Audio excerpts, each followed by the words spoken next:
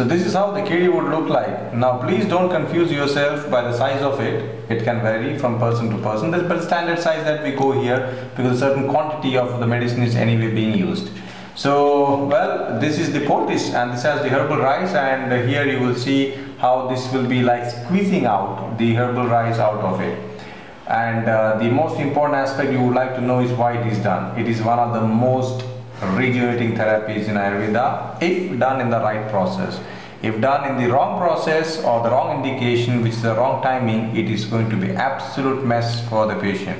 And hence we use it with great restraint and we use it with great caution. And invariably only in the third week of the therapies we do for most of our clients. Are many clients in whom we don't even do and there are many in whom we would just stop uh, halfway or the beginning itself if you find it's getting contraindicated for them. So this video clip is precisely meant to communicate what benefits it carries. And if I say medical words for it, it is used in degenerative conditions.